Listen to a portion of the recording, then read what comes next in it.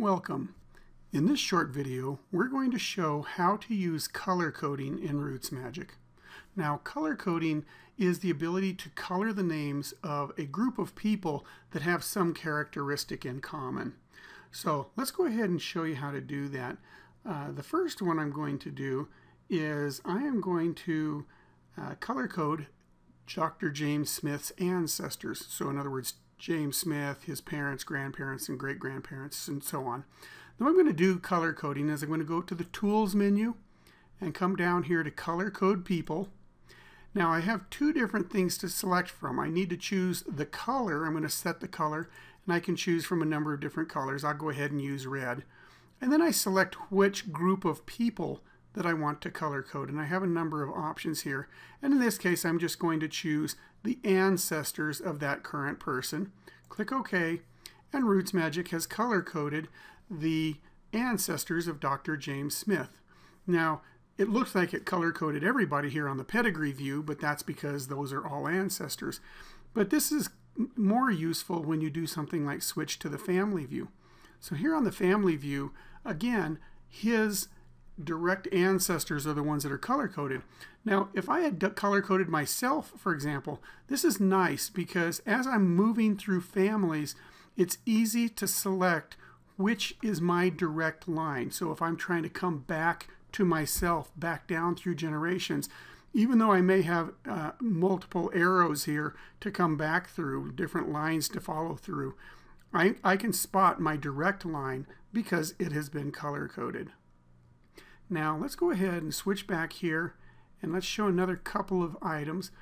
Uh, I'm going to go back up to Tools and then to Color Code People again. Now I'm going to choose a different option right here. I'm going to say I want to clear all the colors. In other words, I want to uh, get, get rid of these colors, set them back to where they were, and there we go. Now I'm going to go in and I'm going to do a little bit of color coding again. So I'm going to select Color Code People, and we'll just stick with red here again. And I could mark the descendants of that highlighted person. Or I could say I want to select people from a list, or I could color code just that highlighted person. Or if I have a named group, which is basically like selecting people from a list and giving it a name, I could select a named group as well. And we have a, another short video that talks all about how to use name groups. So rather than cover that, uh, I'd refer you to that other, that other short video. But if I did want to select a group of people from a list, I would go ahead and select that, choose OK. RootsMagic will bring up a list of everybody in my file, and I could then just go through and just click on the people that I want to color code, or I could say mark a group, and I could mark the family or the ancestors' descendants, or I could say select people by data fields.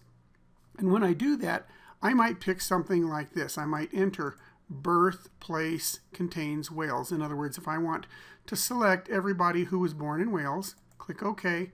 RootsMagic has marked 15 people, and if I were to scroll down through the list, I would see those 15 people checked. Click OK, and RootsMagic is now displaying everybody who was born in Wales with red. Okay, it's, it's basically fairly simple there.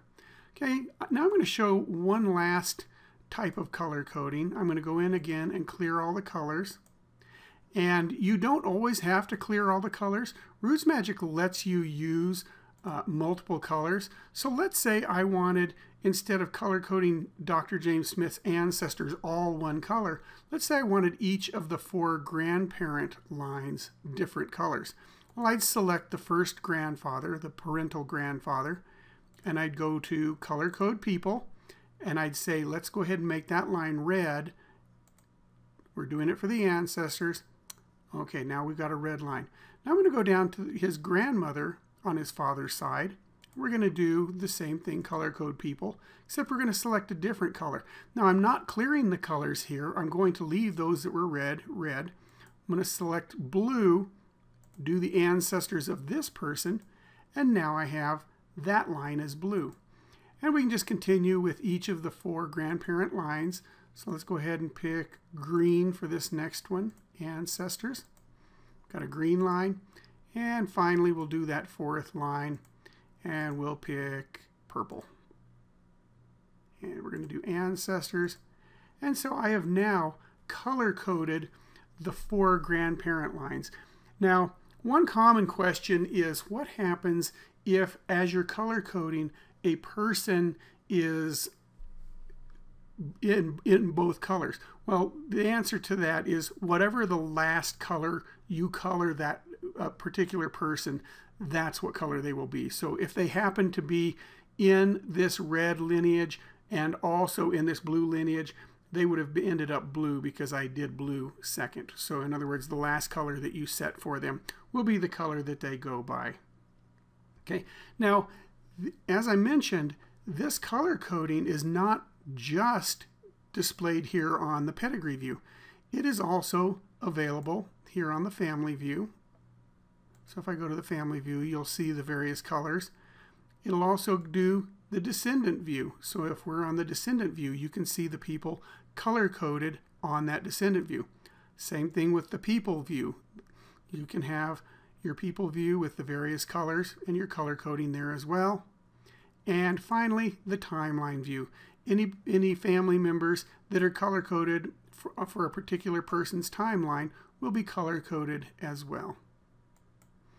Okay, now the other places you'll see it is over here in this side list. You'll see that as I scroll through that side list, you'll see the different lines.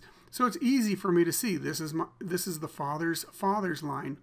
Green, that's the mother's father's line. And so it makes it easy to pick out what line a particular person is. Or if I had selected it based on people born in Wales, it would make it easy to spot people that were born in Wales without even having to look at the data. I can, I can detect that just from viewing uh, the color of the, of the list. Okay, finally, let's go ahead and show you how this looks in reports. If I go up here into reports, let's go ahead and do a pedigree chart. Now, I'm picking a pedigree chart, but there's uh, many of the reports will have these same options, and they are available in those options as well. Uh, any, any report that supports color coding will have a checkbox right here that says color coding. Now, if that is unchecked, the report will print in plain old, plain old black and white. If I turn on color coding, then that, that report will have the names displayed in color. Now, there's another nice little item, and I'm going to show you this before we actually generate this report. And that is if this report is one that has an index, and there's a number, quite a number of them that will print an index, a name index at the end of the report. But if it does have an index, when you click on the options for the index, indexes also have an option for the name index to include the print the color coding. And this is independent from the color coding in the report. So you could have the report print in color and the index be just black and white, or you could have the report be in black and white and have the index be in color, or you could have both be in color. And that's what I'm going to do in this case. So I'm going to go ahead and generate this pedigree chart that has color coding turned on. And I need to size this back down so that you can see. And so here is our pedigree chart. And our pedigree chart has the color coding. The father's line, the father's mother's line, the mother's father's line, and the mother's mother's line. And you can see that you've got it color coded. If you have a color printer, then this will print in color when you print that. And as you scroll on a little farther, there is your colorful index. By having color coding turned on in your index, you're able to easily, in this case, spot which of those lines each one of these people uh, belongs to. And that is how to use color coding in RootsMagic.